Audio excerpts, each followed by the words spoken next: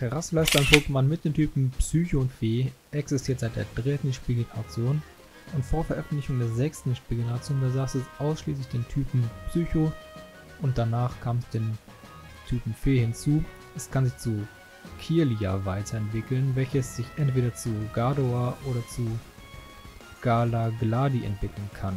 Sowohl Gardevoir als auch Galagladi sind zudem zu einer Mega-Entwicklung fähig. Trasso ist ein kleines zweibeiniges und humanoides Pokémon, das hauptsächlich weiß gefärbt ist. Das Psychophen-Pokémon besitzt einen auffälligen roten Kopf, der einem Helm ähnelt. Die beiden Hörner sind von breiter und flacher Gestalt sie weisen jeweils nach vorne und nach hinten. Seine Hörner färben sich dabei rot, der Kopf an sich ist grün und mit schwarzen dünnen Streifen gemustert. Das Gesicht besteht aus den nicht immer sichtbaren Augen und dem kleinen Mund. Die Augen setzen sich dabei aus weißer Lederhaut, roten Iridien und schwarzen Pupillen zusammen. Der weiß gefärbte Körper ist sehr schmal und wird zu den Füßen hin immer breiter und an den Seiten wachsen die dünnen langen Arme. In der Shiny-Form sind die Hörner minimal heller gefärbt und der Kopf ist hellblau und der Körper, äh, der Körper leicht violett. Terraslas kleine zaubertiger Körper sorgt dafür, dass es keine einzige physische Attacke regulär erlernen kann. Jedoch verfügt es über geheimnisvolle Kräfte, welche es in starke spezielle Angriffe wie Psychokinese oder Traumfresser vom Typ Psycho oder Mondgewalt vom Feentypen gießt.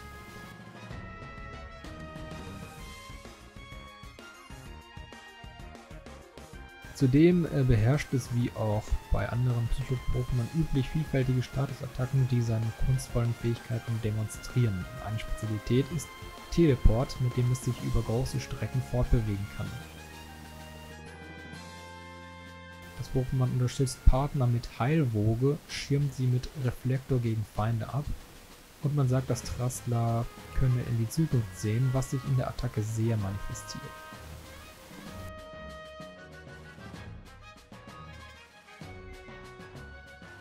Die meisten Exemplare verfügen über die Fähigkeit Erfassen, welche die Fähigkeit des Gegners kopiert, oder Synchro, welche Statusveränderungen wie Paralyse an den Gegner weitergibt. Beide hängen mit dem gespürten Trasslers für sein Gegenüber zusammen. Manche Trassler verfügen zudem über die versteckte Fähigkeit Telepathie, mit der es die Absichten von Mitstreitern erkennt und so deren Attacken ausweichen kann. Wilde Trassler sind sehr selten anzutreffen. Sie fühlen sich in blumenreichem Gras wohl, in welchem sie sich verbergen können und durchstreifen die Wiesen von offenen Ebenen wie der Route 102 in der Hönnregion. Es gibt Beobachtungen von Trassler, welche in kleinen Familiengruppen gemeinsam mit, ähm, mit Kirila, mit Kirlia und äh, Gardevoir zusammenleben und per Telefort umherreisen. Das Pokémon äh, zeigt eine sensible oder ein sensibles Gespür für die Emotionen anderer Pokémon und Menschen. Es nimmt diese über die zwei Hörner an seinem Kopf wahr. Wenn es Feindseligkeit verspürt, versteckt es sich, deswegen bekommt man Trassler auch nur selten zu Gesicht. Merkt es jedoch, dass jemand guter Laune ist, gewinnt es Zutrauen und nähert sich. Es wärmt sich an positiven Emotionen und ist ebenfalls gut gelaunt, wenn es eine solche erspürt.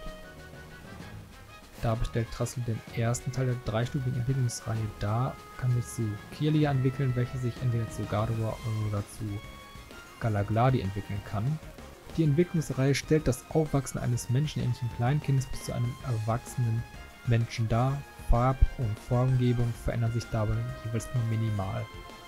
In der Spiel der Hauptreihe wird die Entwicklung von Trassler zu Kirlia durch das Erreichen von Level 20 ausgelöst, von Kirlia zu Gardevoir auf Level 30 oder zu Galagladi durch einen Funkelstein und jeweils die Mega-Entwicklungen jeweils mit einem Gardevoir Need oder einem Galagladi Need mit der Typenkombination aus Psycho und Fee ist das Pokémon oder nimmt das Pokémon äh, ne, ist das Pokémon immun gegen Drachenattacken, nimmt Viertelschaden gegen Kampfattacken, halben Schaden gegen Psychoattacken und doppelten Schaden gegen Gift, Geist- und Stahlattacken. Das macht normalen Schaden.